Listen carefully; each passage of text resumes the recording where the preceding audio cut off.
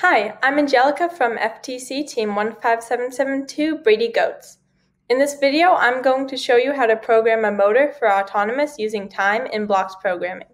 So first you want to create a new op mode and name it something meaningful. So I named mine auto underscore motor underscore time. So then once you name your op mode, you can press OK. So once you're in the blocks programming environment, you can X out of anything that you feel like you need to. So I will X out these two pieces. After that, this since this is an autonomous code, at the top next to your op mode name, there should be a drop down that says teleop. So you should change that to autonomous because once you get to the phone, you want to make sure that's on the autonomous side and that the timer is automatically enabled. So next in the um, blocks programming setup that they initially give you, there's a repeat, repeat while do block.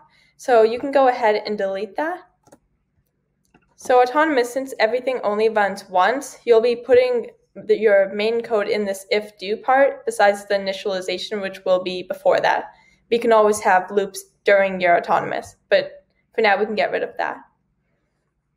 So the first thing that you want to do to get the motor to actually run is to go to actuators on the left, and then DC motor, and then you can see the set power motor power to one, so you can drag and drop that after put run blocks here. So from that, you'll be able to change the power to the motor speed that you want. So for now, I'll do it at 0.5.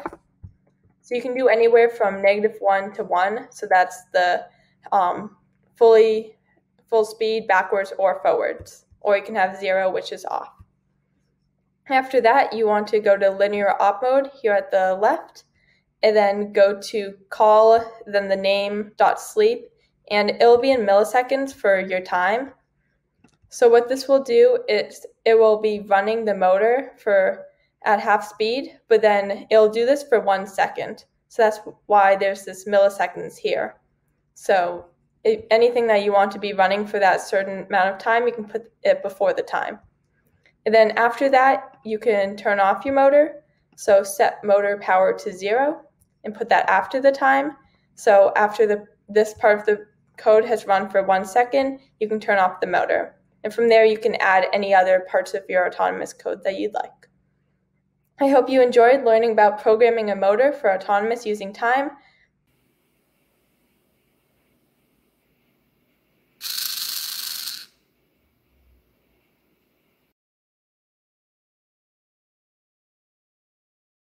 In this video, I'm going to show you how to program a motor for autonomous using the run to position encoder mode in blocks programming. So first you want to create a new program and name it something meaningful. So I named mine auto underscore motor underscore RT, RTP for run to position, and then press OK. So now if you have anything like you like to X out of, like I do, you can go ahead and do that. Since this is an autonomous program, you'll want to also, next to your op mode name, go to the dropdown that says teleop on it, and then change that to autonomous. So it shows up as an autonomous program on your phone when you go to select the program. Also, since this is autonomous code, you can also delete the repeat while do block because since it's autonomous, it is only going in like one loop instead of going back into the loop multiple times. So the first step is that if you need to reverse your motor like I do, then you can go to actuators, DC motor, and reverse your motor. So you can put that after the put run blocks here. After that, you can also set the first mode. So where it says set motor dot mode to run without encoder, you can drag that block underneath the direction block. So the first step when you're going to be running a motor with the encoder is you want to reset the encoder. So you can go to run without encoder, that drop down, and then go to stop and reset encoder to make sure that there's no other values on there that used to be there from like another program or just previously in that same program. After that, you can go back to actuators and DC motor, and you can get a target position block. So the set motor dot target target position to zero, and drag that after the stop and reset encoder. So that'll be the number of ticks that you want your motor to run to. So you'll have to do different calculations to figure out how many ticks equals one rotation or however many inches you want the robot to move. So for now, I will do, for my motor, 280 ticks, which will be one full rotation. After that, you can go back to DC motor. So go to set motor mode again and drag that out underneath the set target position. So in that dropdown, you want to change that to run to position.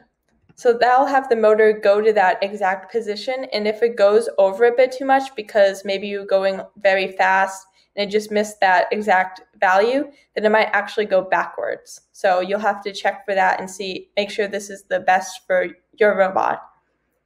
After that, you can go back to DC motor and get the power block, so the set motor power to whatever number, and drag that after the run to position.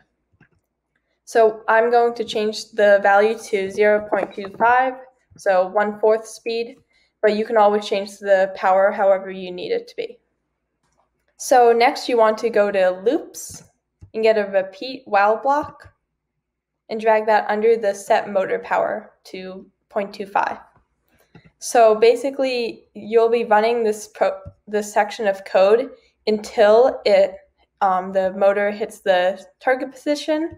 So you'll be setting this repeat while to actually repeat until.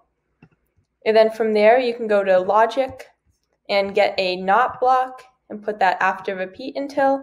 So repeat until it's not something. So that not would be in DC motor and this call motor dot is busy. So again, that'll run everything above it until the motor hits this target position here. So inside of this block, you can put anything in parallel. So maybe you want some servos running or something. But for now, we can do telemetry to see the motor power to make sure it's around 0.25. So you can go to utilities and go to telemetry. From there, we can get a telemetry add data with key and number and put that into that repeat until do block. So for key, if we want to figure out the motor power, we can put motor power, and then the number would be back in DC motor, and it would be this motor power, but not the set one. So it's the one that you're able to get the motor power, and that goes into number. So now when you would run this, you would think that you can see the motor power, but you won't be able to until you get the telemetry update block. So this call telemetry dot update and put that underneath the call telemetry add data. So as it's running the motor into this target position, you'll be able to now constantly see the motor power because it's in this repeat until block. After your motor gets that target position, you would want to turn off the motor. So you can go back to DC motor, go to set motor power to zero, and put that after the repeat until do block. I hope you enjoyed learning about programming a motor for autonomous using run to position. To find out more about our team, please visit the links in the video description. Thank you for watching.